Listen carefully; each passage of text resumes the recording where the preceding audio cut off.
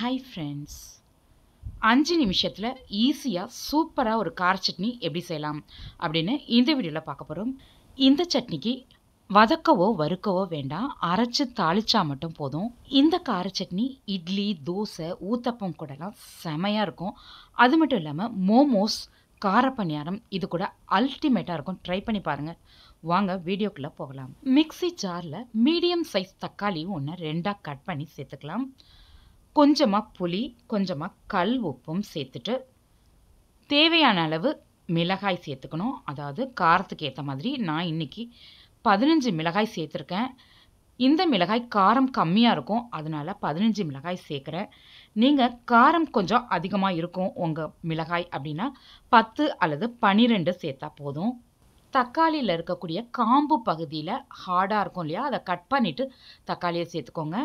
தக்காளி புளி உப்பு மிளகாய் எல்லாமே சேர்த்த பிறகு தண்ணி சேர்க்காம ஃபைன் பேஸ்ட்டாக அரைச்சி எடுத்துக்கணும். தக்காளியில் இருக்க தண்ணியே சட்னி அரைகிறதுக்கு போதுமான அளவு இருக்கும்.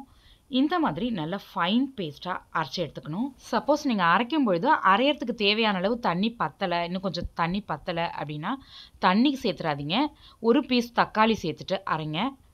அரைக்கும் பொழுதும் சரி மிக்ஸி ஜாரை வாஷ் பண்ணி நம்ம சட்னியில் சேர்ப்போம்ல அந்த மாதிரியும் சரி தண்ணியே சேர்க்கக்கூடாது முக்கியமாக இந்த சட்னிக்கு ஒரு ட்ராப் தண்ணி கூட சேர்க்கக்கூடாது தண்ணி சேர்த்தா என்ன ஆகும் அப்படின்னா டேஸ்ட் நல்லா இருக்காது சூப்பர் டேஸ்ட்டாக இருக்காது. தக்காளியோட டேஸ்ட் மாத்திரம் சல்லுன்னு தெரியும். ஸோ தண்ணி சேர்க்காம இந்த மாதிரி பதத்துக்கு அரைச்சி எடுத்துக்கோங்க. இந்த கார சட்னிக்கு நல்லெண்ணெயில் தாளித்து விட்டால் செம டேஸ்ட்டாக இருக்கும். ஸோ நல்லெண்ணெய் சேர்த்துக்கலாம்.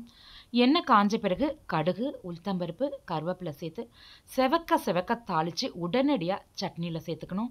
ஒவ்வொரு ஸ்டெப்பையுமே நான் ஏன் டீட்டெயில்டாக சொல்கிறேன் அப்படின்னா இந்த சட்னியை பொறுத்த வரைக்கும் எல்லாமே பர்ஃபெக்டாக ஒவ்வொரு ஸ்டெப்பையும் பண்ணினா தான் சட்னி சூப்பர் டேஸ்ட்டாக இருக்கும். அதனால தான் தாளிக்கிறதுக்கு ரெண்டு டேபிள் ஸ்பூன் அளவுக்கு நல்லெண்ணெய் சேர்த்துக்கணும். தக்காளி கூட கண்டிப்பாக கொஞ்சமாக புளி வச்சு அரைக்கணும். புளியை வந்து ஸ்கிப் பண்ணிடாதீங்க. அதே சமயத்தில் அதிகமாகவும் புளி சேர்த்துடக்கூடாது. கம்மியாக சேர்த்தா போதும்.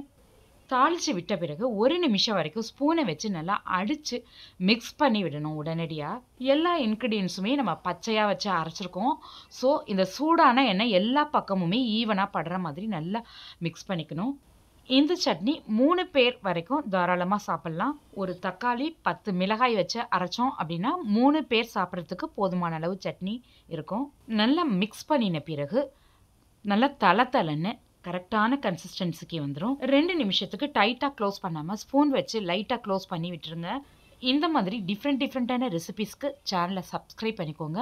பக்கத்தில் இருக்க பெல் ஐக்கான் ப்ரெஸ் பண்ணி ஆல் ஆப்ஷன் கொடுத்துக்கோங்க. இந்த வீடியோ உங்களுக்கு பிடிச்சிருந்தா லைக் பண்ணி ஷேர் பண்ணுங்கள் இந்த வீடியோக்கு கீழே உங்களுடைய கருத்துக்களை பதிவிட மறந்துடாதீங்க. வணக்கம்.